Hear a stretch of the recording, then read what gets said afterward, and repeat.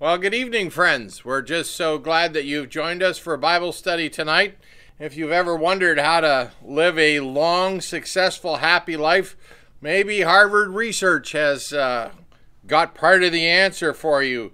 It is surprising to find, the report says, that our relationships and how happy we are in our relationships that has a powerful influence on our health and happiness said Robert Waldinger, a psychiatrist and professor at Harvard Medical School. The ongoing Harvard study is considered one of the world's longest studies of adult life, having started back in 1938 during the Great Depression. Dr. Waldinger said, Our study has shown that people who fared best in happiness were people who leaned into relationships with family, with friends, and with community. So Harvard has confirmed exactly what we've been studying in our Habits of Happiness series that happiness is actually a byproduct, first of all, of good and healthy relationships.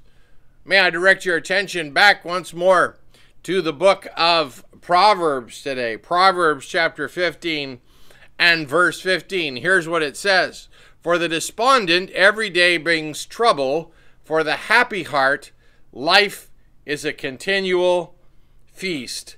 Life is a continual feast for the happy heart. I love the way that the Amplified Bible trades off and adds to that particular verse this way All the days of the desponding and afflicted are made evil by anxious thoughts and forebodings. I trust that's not you. But he who has a glad heart has a continual feast regardless of circumstances. So, if the Harvard study is true, then probably what we need to do is get back to the book of Philippians, chapter 1. We'll look again at the verses 3 to 8 tonight and wrap up this segment of our study of the habits of happiness by wrapping by giving you the last two habits for healthy relationships. And then next week, we'll move on to something fresh in the book of Philippians. But let's go there, would you? Philippians chapter 1, verses 3 down to the end of verse 8. Here's what it says I give thanks to my God for every remembrance of you, always praying with joy for all of you as every in my every prayer because of your partnership in the gospel from the first day until now. And I am sure of this, that he who started a good work in you will carry it on to completion until the day of Christ Jesus. It is right for me, Paul continues in verse 7, to think this way about all of you, because I have you in my heart. And you are all partners with me in the grace both in my imprisonment and in the defense and establishment of the gospel. For God is my witness, how deeply I miss all of you with the affection of Christ Jesus. Let's pray together and get started. Father, direct our minds and hearts tonight, we pray, as we contend with these last two habits, as we look at the conclusion of growing healthy relationships we ask that you would enlighten our minds and our hearts. In Jesus' name, amen. Well, the habits of happiness, and we are in the third lesson that we've put together on growing healthy relationships as the first response to getting the happiness that most people are actively seeking in their lives. We learned in the very first lesson that happiness is not something we should seek after, after but is rather a byproduct of good relationships and a solid walk with God and with others. So, with that in mind, we're going to conclude this first little segment that had four parts to it, and we'll do the last two tonight on growing healthy relationships. Let's go to the third one of those traits. To grow healthy relationships, thirdly, I must expect the best from the people in my life. Paul says that's the third habit. I expect the best from the people in my life. And these things are so simple, as I said at the beginning, but they're often difficult to turn into habits because we don't normally expect the best from people around us. Isn't that true? In fact, the people that we know the best, we expect to let us down because we know them the best and they have a track record. Isn't that true? But Paul is reminding us here in Philippians chapter 1 that the habit of believing in people rather than criticizing them is critical to our happiness. Expect the best, he said, especially in the context he's speaking of believers. Philippians chapter 1 verse 6 is where you'll find that, being confident of this that he who began a good work in you will carry it on to completion until the day of Christ Jesus. Circle that word in your Bible, confident, being confident of this. I'm expecting the best from and for the people in my life, especially Christian people.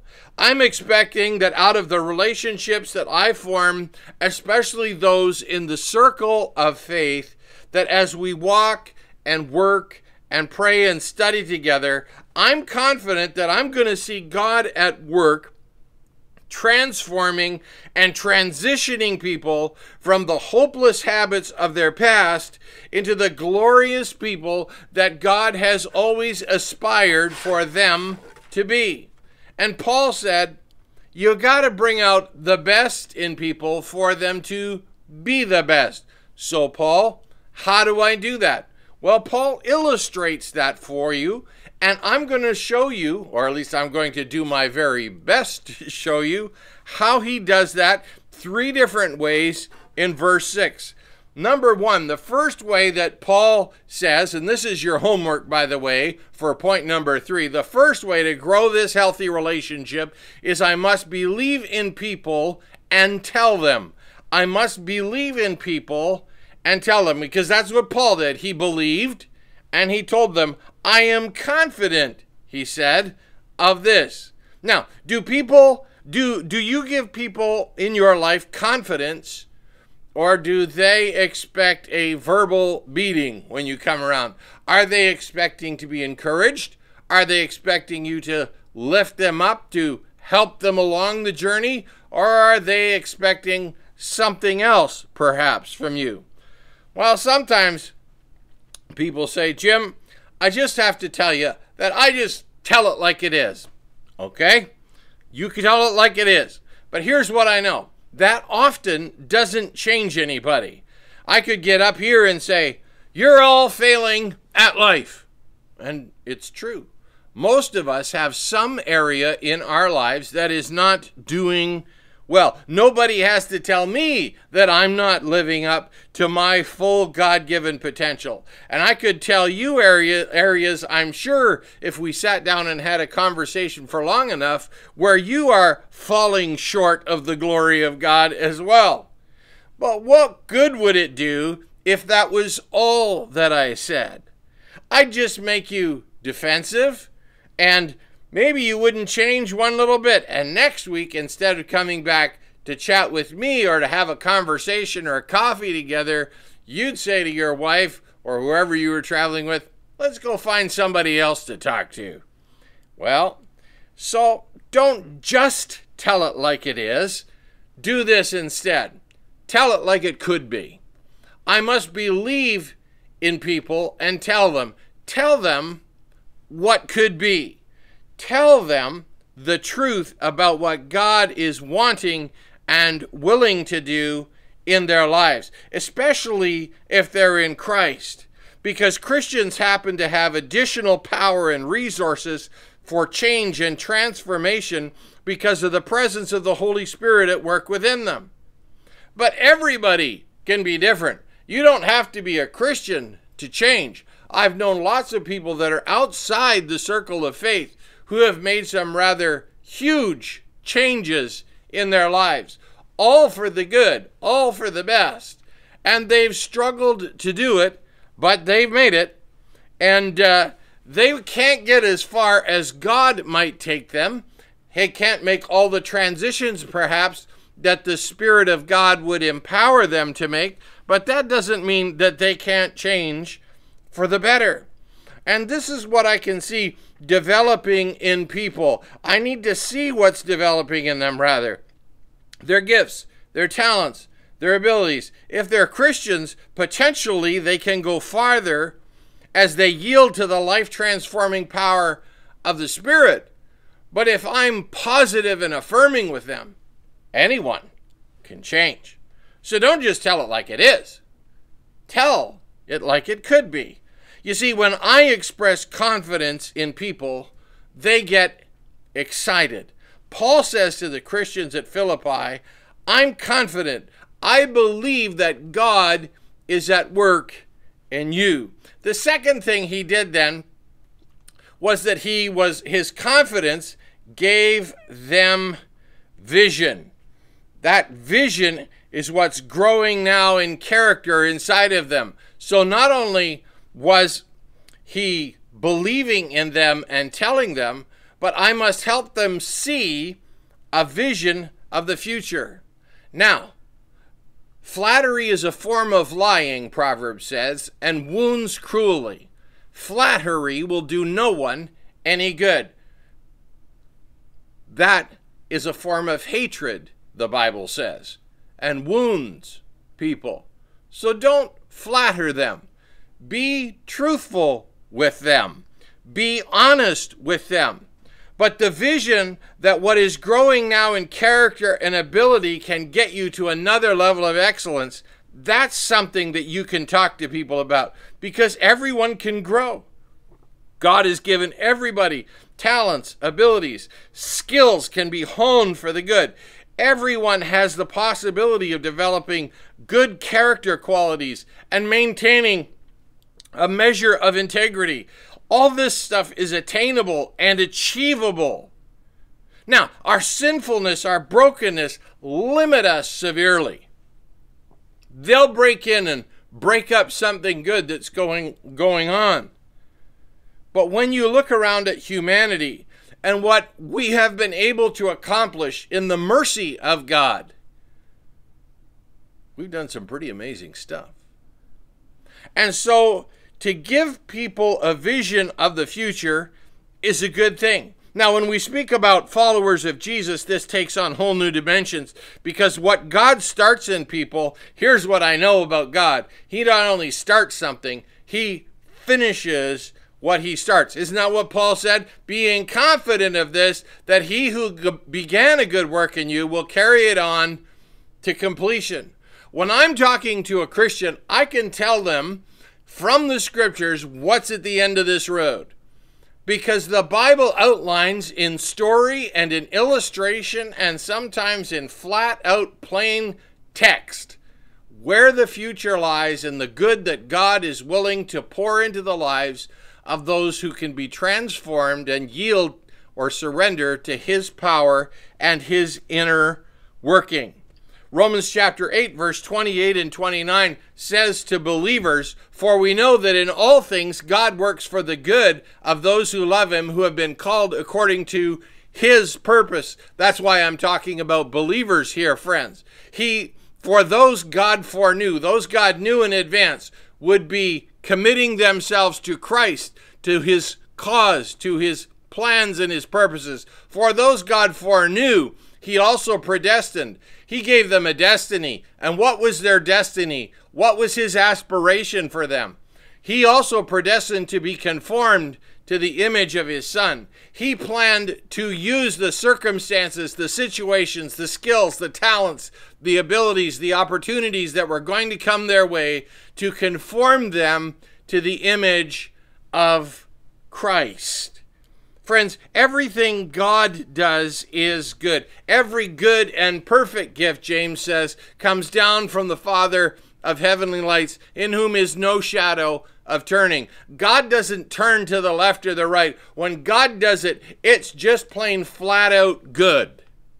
Now, what we do with it and how we receive it and how we choose to respond to the good that God does, that's a totally other matter. But here's the confidence we have from God is this what he begins in our family members, in our friends, especially those in Christ, he will finish. They can, they will accomplish the purpose and the plans of God if they will remain open and yielded to him.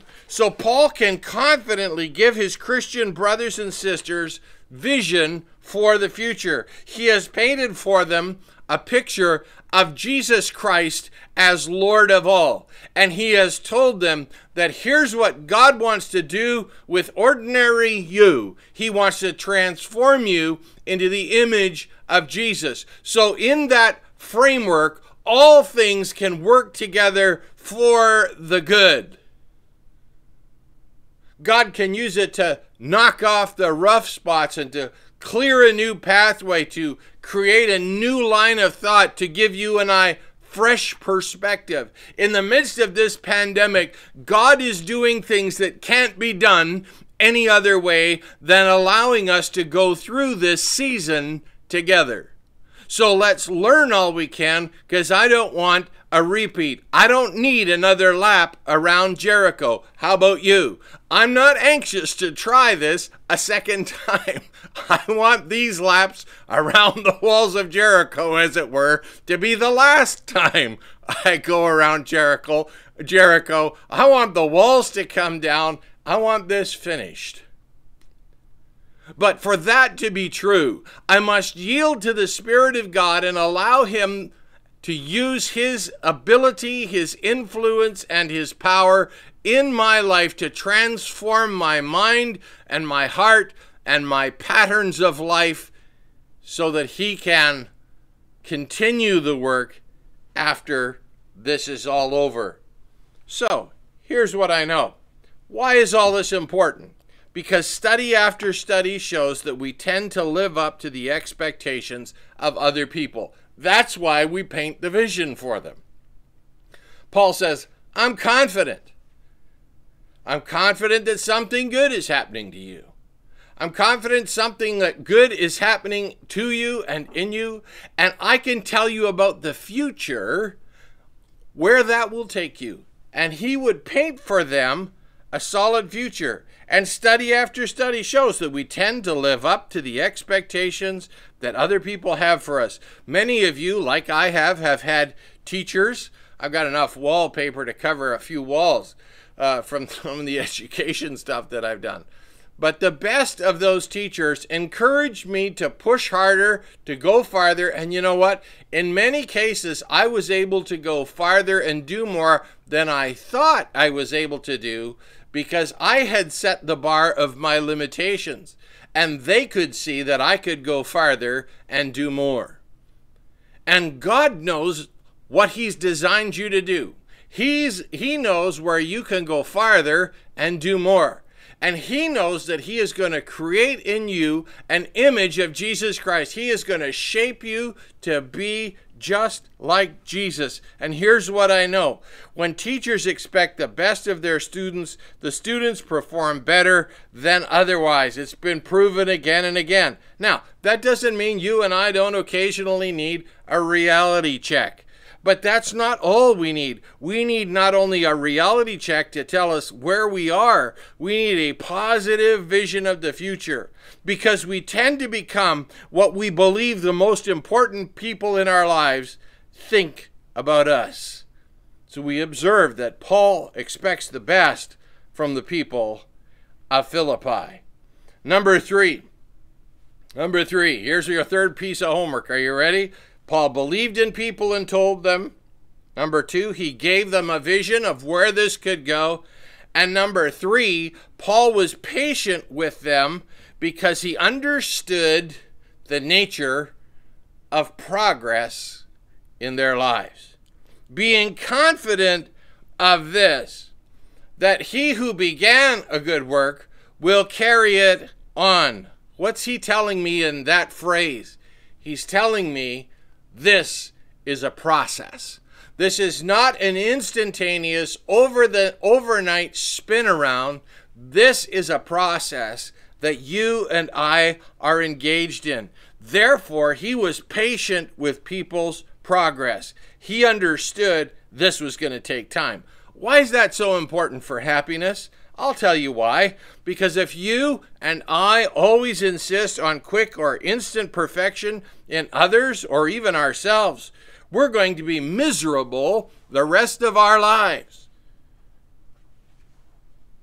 Friends, nobody's perfect. Not you, and especially not me, because I know me. And if you're always expecting perfection from your children, from the grandkids, from an employee, a total turnaround by tomorrow because you taught them something wonderful, at, wonderful today, think again. My, my old boss used to said retrain after coffee break. In other words, he'd get me to a point, we'd take a break, and then I'd lose half of it, and he would have to retrain after coffee break. And Paul says, I must be patient with people's progress. And if we're always expecting perfection, we're going to be disappointed. And frankly, so will they. So let's give them encouragement.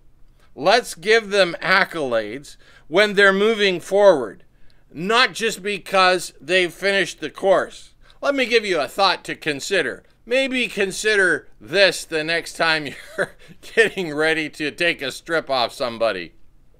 Why don't you do this?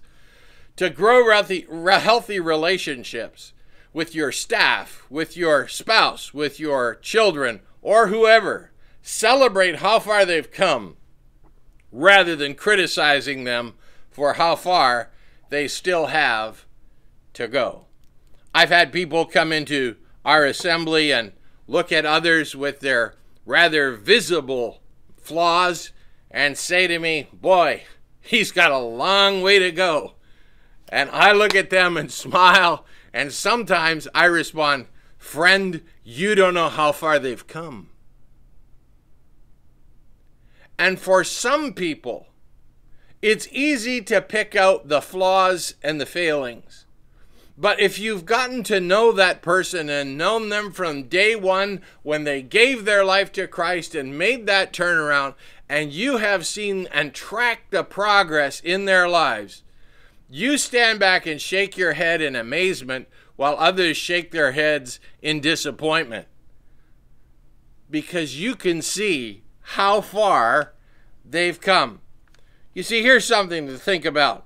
When my kids were smaller, they would draw, draw me great pieces of art and bring it to me and say, Dad, look at this. And I would say, Catherine, this is absolutely marvelous. Laurel, that is perfect. What is it? Susanna, that's beautiful. It looks great. And when I say that's perfect, does it mean it's a Picasso? Heavens, no. It was perfect for the stage of life that they were at. I don't expect a five year old to paint like Leonardo da Vinci. In fact, five year old Da Vinci didn't paint like Leonardo da Vinci in all the books that I looked at, I'm pretty sure. Because there is a learning process involved in this. And Paul says, not only do I need to believe in people and tell them, and give them great vision. But I must be patient as they progress through the process. There's a process at work here, and you're never going to be happy, and neither am I, if we're constantly demanding perfection of ourselves and others. Paul says, I am patient with people's progress. You see, here's what I know God doesn't wait until I'm perfect to start loving me and telling me good things about the way that He's at work in my life and the way that I'm succeeding as I yield to His grace. Here's what I know God has loved me from the beginning, and He is loving me through this process. And God willing, I am making progress. And so, with all the people in your life, too, there must be progress. And we must be patient because God didn't love me from the has loved me from the beginning. He didn't withhold his love and affection until I got it. He encouraged me with his love all the way along. And that leads me to the final big habit. The final big habit this morning, or it's not morning, well, it's not morning right now, anyways, I'll tell you that, is this I must love the people in my life like Jesus loves me. I think that's a great summary statement for a fourth one. So, what's the key to patience in this progress and process thing? Paul says it best, I think, in the next verse, verse 7. He says, It is right for me to feel this way about all of you, not all the not only all the positive stuff that's going on. Since I have you, he said, in my heart. Look at that. I have you in my heart. And you need to circle that. You need to write that down somewhere. I have you in my heart. Why? You know what I've discovered? I've discovered if people aren't on on my heart, they're on my nerves. they're on my nerves. But I find that when the people in my life are part of my active prayer life, that I have a different perspective on them and their progress. I have to get them off my nerves and into my heart. And how do you do that? Prayer, friends. Prayer. How do you think Jesus managed it with the 12 disciples who fumbled and stumbled and thought it and forgot it and couldn't recall it when it was time? How do you think he did that? Oh, he got frustrated. If you go back and read the Gospels, you'll read the times he got really frustrated with the disciples. But every morning, the Bible says, he got out of town. He left wherever the rest of them were, got off on his own, and had communication with his heavenly Father. And by the time he got back into Peter's personal space, he was ready to deal with Peter. He was ready to see the small steps of progress and give Peter accolades. He was ready to slap him on the back and walk another few miles, get in the boat, and do some more miracles and demonstrate the power and the grace of God so that Peter and 12 men could figure it out and follow him. So many of the relationship problems that you and I have over and over again are because we tend especially well I think especially myself as a as a man anyways I tend to react with my head and not with my heart. And when I'm not careful my hard-nosed logic without love and without patience is building a wall and not building a bridge and I've had I've had to bust down a few walls in some relationships. And I wasn't always happy, but I knew who built the wall. I did. Oh, sure, they should have known better. They should have understood. Should they? Did they really? Perhaps I should have understood. Perhaps I should have been more careful. When people say to me, You just don't understand, they're not always talking about my mental aptitude. I'm not the sharpest knife in the drawer, but I'm not the dullest tool in the shed either. I'm a pretty intelligent character most of the time. That's my opinion. But what they're really telling me is when they say to me, You don't understand, they're saying, You don't feel my pain. You don't grasp or identify all the factors that are playing into this, that are making this circumstance, this situation, into something that is so much more than it seems to be.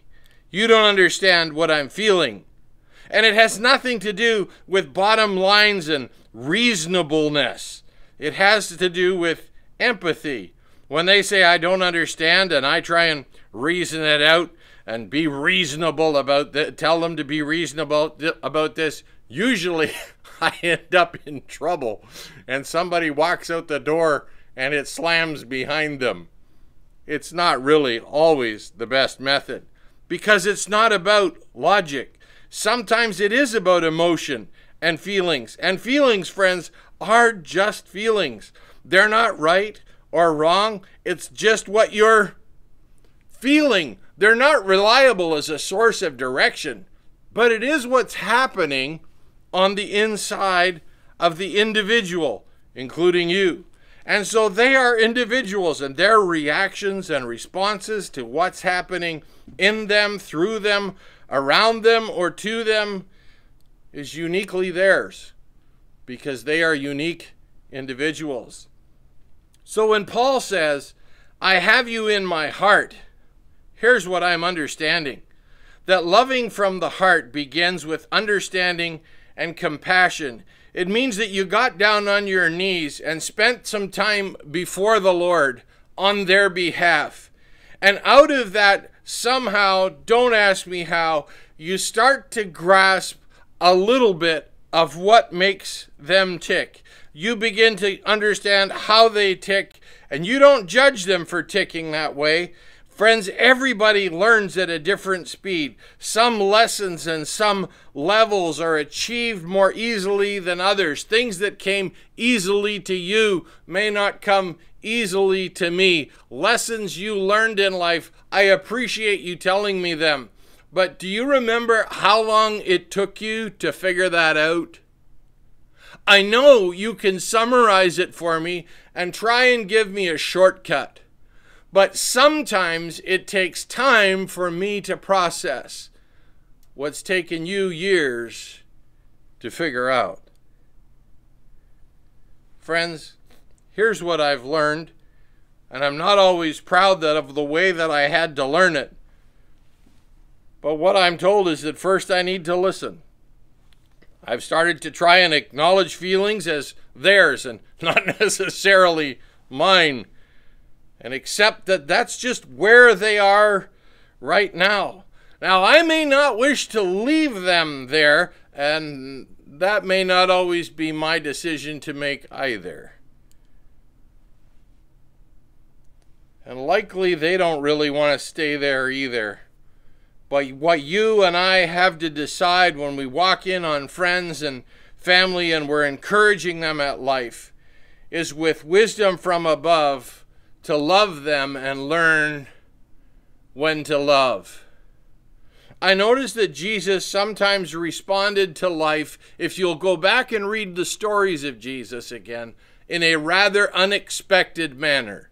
He caught people off guard because he actually did understand what was going on at the moment.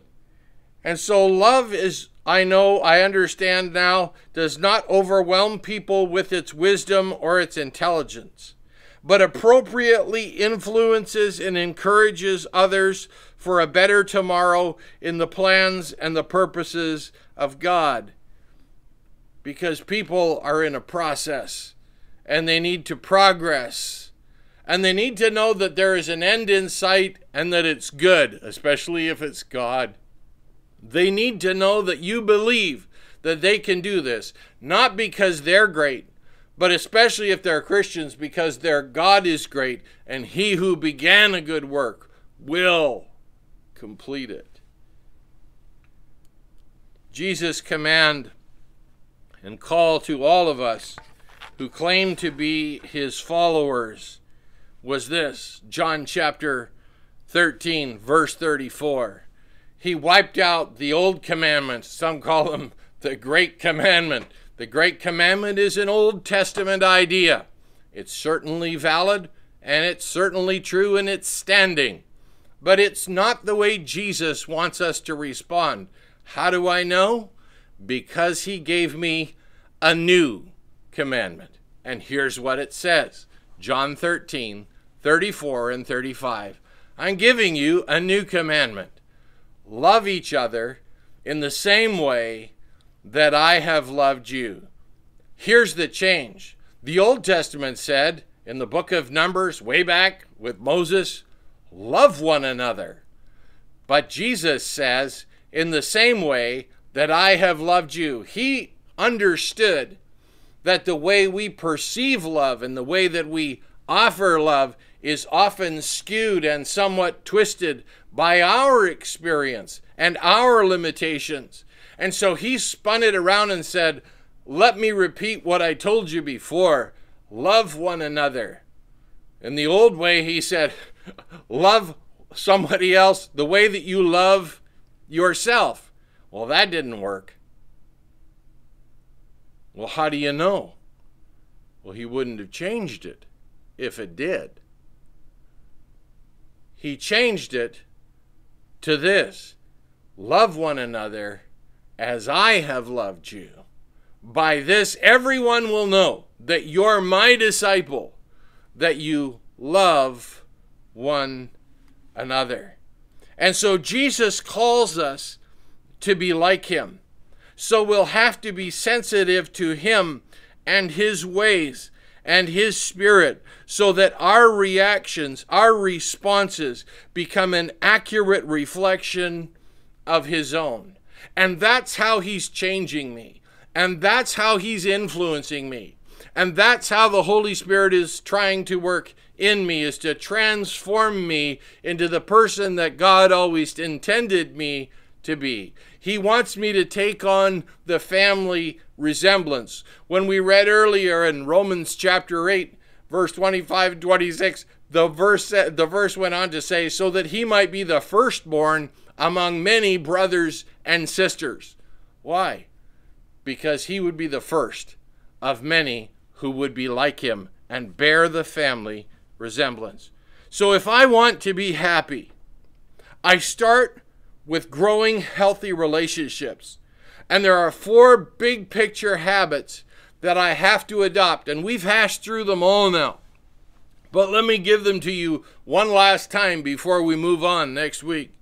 The first thing that I know to if I'm going to experience the byproduct of happiness is this I must be thankful for the people in my life. The second thing I learned is that I must learn to pray for the people in my life with joy. We talked about that for quite a while. Thirdly, we learned tonight I must expect the best from the people in my life because if God's at work in them, good things can be coming anytime. And fourthly, I must love people in my life like Jesus loves me. Love one another as I, he said, have loved you. How has God loved you? Has he been patient and kind and encouraging and allowed you to walk through some trials and some tribulations? And then he promises he won't leave us or forsake us, that he'll be there and he'll help us through. That's the Jesus that I know. That's the Jesus that I serve. That's the Jesus that I want to convey, whose life experience I want to reflect through mine. Because again, my natural dependency, my natural tendency, rather, is to be self centered. I tend to look at my own needs and all the things that have happened in my own life. But if I would be careful and consistent and model my actions and my responses after Jesus and hear Paul's illustration in these first 11 verses, then I think that you and I can diminish the number of relational issues that we have because we're not thinking of ourselves first. We'd be like Jesus, focusing and thinking about others. Why don't we pray tonight as we close and ask God to help us adopt these attitudes to make them habits in our own lives? Here's what I know desire will get me started, but only a habit will keep me going. Let's pray together, shall we? Dear God, I really do want to experience happiness. And I ask you to give me the power to be grateful for the people in my life. Help me to, to remember the best and forget the rest. In those challenging relationships, God, help me to start praying for them with joy, as Paul taught me. Dear God, I ask you to help me to develop the habit of expecting the best of people in my life, especially those who are under the influence of your Holy Spirit. Help me to be confident and to build confidence in others. Help me to recognize how, people, how far people have come, not just how far they still have to go. Help me to affirm the work of Christ in others, even if it's just in calling them to Himself in salvation. Help me to love people in my life like you love me. Spirit of God, I aspire to share with others the grace and the goodness and the love that you have shared with me. Teach me your way, I pray. In Jesus' name, amen. I trust you were able to pray that with me. We're going to be journeying forward in the habits of happiness. I'll see you next week on midweek sometime and uh, looking forward to sharing the next series of thoughts with you then. God bless you. Have a great day.